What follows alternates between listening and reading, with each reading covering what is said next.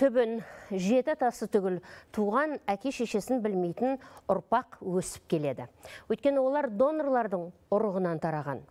Қазақстан заңнамасына сәйкес ұрықтардың иелері жайлы тіс шаруға болмайды. Яғни есейген соң ол бала биологиялық атанасын білгісі келсе де біле алмайды. Донорлардың көмегімен құтыдан құрсаққа бала салуға сұраныс артып барады. Бүгіндері елімізде жүздеген сәби донорлардан туып жатыр. Өзгенің ұрығына үміт артудың басты себебі бедеуліктің белең алуы. Сәби сүю бақыт әрине. Алайда донорлықтың арты соқпаққа айналуы мүмкін. Анық қанығын Альбина Әшімнің арнайы репортажынан білеміз.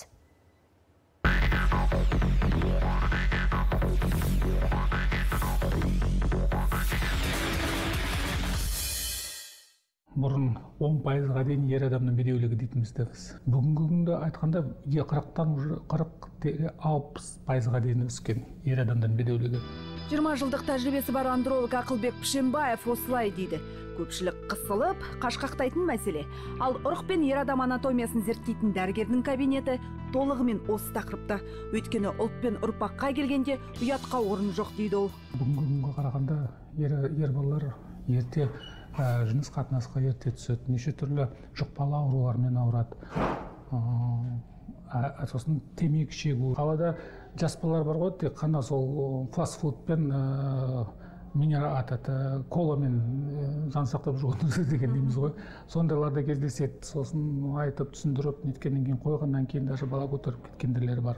Кіндігі кесіле сала дәрі дәрмектен көз ашпайтын тағамды талғамай денсаулығына мән бермейтін ұлдардан ұрпақ өрбуі екі талай бүгіндері бедеулік 20-35 жас аралығындағы ер адамдарда белең алып барады. Көбінесе жұптар өзінікін жасайды. Өзінікін жасағысы келеді. Болмаса да операция арқылы сперматозоидтарды табамыз да содан кейін қосамыз оларды. Ұрықтандырамыз қолдан. Жоқ болса операциядан кейін де жоқ болса содан кейін біраз ойланып донорский спермаға иә келіседі. Бұл жеке клиника ұрық тапсыру құтыдан құрсаққа бала салуды ұсынады. Астананың өзінде осындай онға жуық клиника бар. Өйткені донорлық пен экоға сұраныс артып жатыр.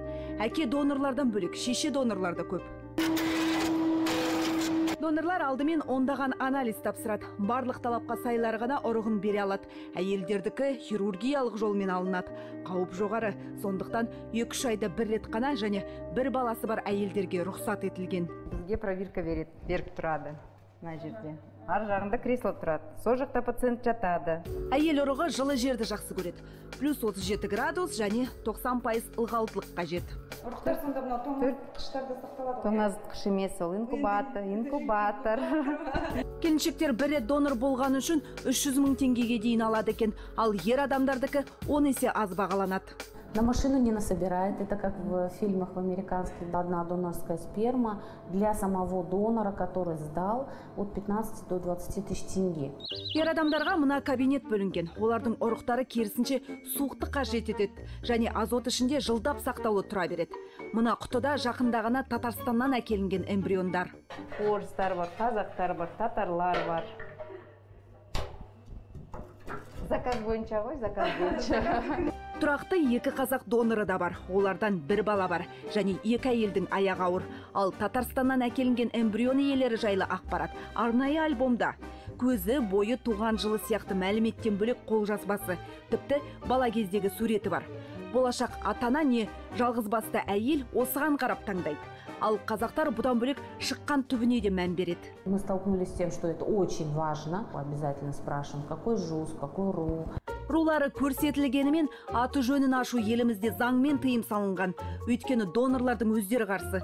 Сондықтан ұрығын қолданғандар да олардың кім екенін біле алмайды. Менталитет к сожалению в нашей стране пока не распространяется. Біздің еліміздегі менталитет өкінішке қарай донорлық бағдарламаны қабылдай алмай тұр. Сондықтан ер адамдар арасында донор тапшы. Ал әйелдермен проблема жоқ. Көбінесе бедеулігі бар келіншектер апа сіңлілерін алып келеді. Туыстарының ұрығын қолданамыз. Ана мен бала орталығы донорлар көмегіне 12 жылдай жүгініп келеді. Жыл сайын 20 бала белгісіз әке мен шешеден туады. Ал 12 жылда туғандар саны 200-ден асып кетті. Қазір 15 тұрақты еркек доноры бар. Жеке клиникаларда эмбриондарды эвакуациялау жоспары жоқ. Ал мында байқап тұрсыз эмбриондарды адамға теңейді екен. міне мына жерде донорлардың ұрықтары сақтаулы тұр дәрігерлер ә, мейлінше ақырын сөйлеу керек дейді өйткені эмбриондарға қатты дыбыстар әсер етуі мүмкін Вы биологический отец 533 детей. Они судятся с клиникой, чтобы узнать, кто их отец. Бұл өмірдегі жағдай емес. Дегенмен комедияның түбінде трагедия жатыр. Британиялық биолог бертольд визнердің 40 жылдар ашқан клиникасында мың жарым бала құтыдан шыққан екен. Ал оның жартысына жуығы ғалымның ұрығынан визнер әйелдерден жасырып өз шәуітін қолданған деседі. Жеті жыл бұрын тұманды альбионда осындай шу шықты. Ал қазақстанда жүгенсіз кеткен донорлықтың дауға келмесіне кім кепіл? Бұл ислам харам нәрсе.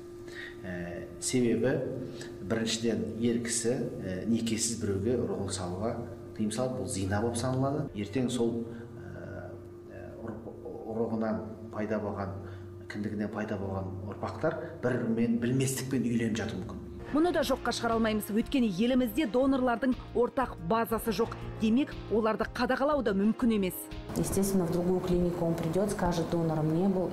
Ортақ тіркелім болмағандықтан әрине ол басқа клиникада донор болмадым дей салады. Ұрығын қайта қайта түрлі жерде тапсыра береді. Бұл мәселе шешілмей тұр. Сондықтан бір әке не шешенің балалары үйленіп қалу қаупі де бар.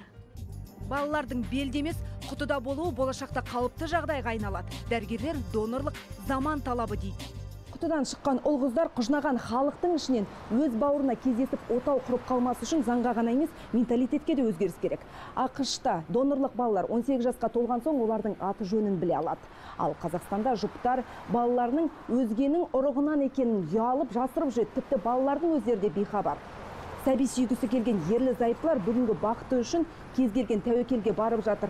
Бірақ құтыдан шыққан ұрпақтың тұтастай ұлттың болашағына балта шабуы мүмкін екенін ойлана бермейді. Альбина әшім дархан әлібек еркінжан керімжан қазақстан ұлттық телеарнасы.